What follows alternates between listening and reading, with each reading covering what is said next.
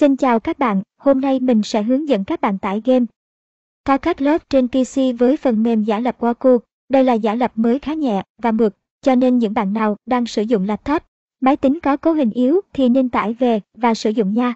Và link tải giả lập thì mình để sẵn trong phần mô tả hoặc bình luận của video này. Các bạn đang xem video thì hãy kéo xuống phía dưới thì sẽ thấy và hãy click vào để tải về nha. Và nếu các bạn sử dụng trình duyệt Chrome thì file tải nó sẽ nằm dưới góc bên trái của màn hình, thì bạn hãy click chuột vào, thì nó sẽ hiện lên một cái bảng. Và bạn hãy nhấn vào nút cài đặt ở giữa để cài giả lập lên máy tính. Và thời gian cài đặt thì cũng nhanh lắm, tầm 3 đến 7 phút là xong rồi. Và khi cài xong thì bạn hãy mở giả lập lên nha.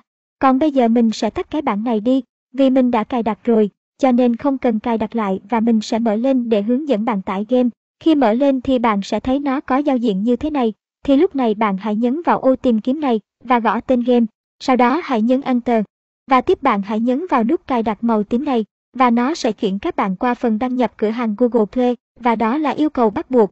Chính vì thế bạn hãy sử dụng tài khoản Gmail Google để đăng nhập vào nha. Đăng nhập xong bạn sẽ được chuyển sang phần tải game. Thì lúc này bạn hãy nhấn vào nút cài đặt màu xanh để tải game về.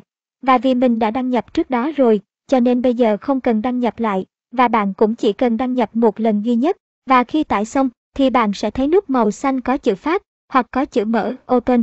Play thì bấm vào thì game sẽ mở lên và bạn có thể bắt đầu chơi được game rồi đó và bây giờ các bạn có thể xem mình trải nghiệm game này nha. Lưu ý, bạn hãy mở giả lập này trong 2, 3 ngày đầu tiên để nó tối ưu hệ thống game tốt hơn, giúp bạn chơi mượt hơn. Còn trong quá trình cài đặt giả lập, tải game mà bị lỗi thì hãy để lại ý kiến trong phần bình luận, mình sẽ hỗ trợ giúp cho. Chúc các bạn chơi game vui vẻ.